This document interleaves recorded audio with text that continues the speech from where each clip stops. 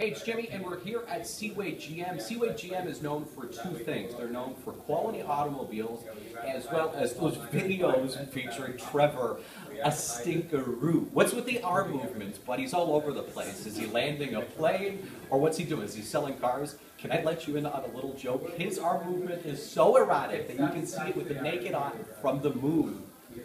He's behind me. It's a